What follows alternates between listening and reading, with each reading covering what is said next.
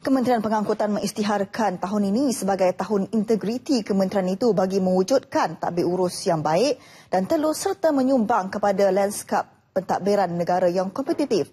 Menterinya Datuk Sri Liao Tiong Lai berkata, pelbagai inisiatif dan program akan dirangka termasuk menempatkan Pegawai Suruhanjaya Pencegahan Rasuah Malaysia SPRM di kementerian itu serta di jabatan dan agensi di bawahnya. Menurutnya, langkah lain yang dikenal pasti ialah penubuhan gabungan pencegahan rasuah rantaian berkalan logistik serta sesi dialog dengan pihak berkepentingan untuk mengenal pasti perkara berhubung tabir urus dan rasuah. Bercakap dalam satu kenyataan, Datuk Sri Liao berkata, selain meningkatkan produktivitinya di semua peringkat, kementerian itu juga akan mempertimbangkan untuk melanjutkan waktu perkhidmatan di pusat-pusat yang padat dengan pengguna.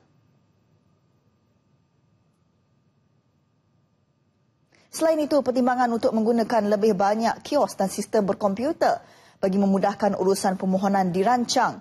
Kementerian itu juga telah mengadakan satu sesi dialog bersama Menteri di Jabatan Perdana Menteri Datuk Paul Lau serta Timbalan Pesuruhjaya SPRM Datuk Sri Mustafa Ali berhubung isu-isu integriti dan tabik urus yang baik.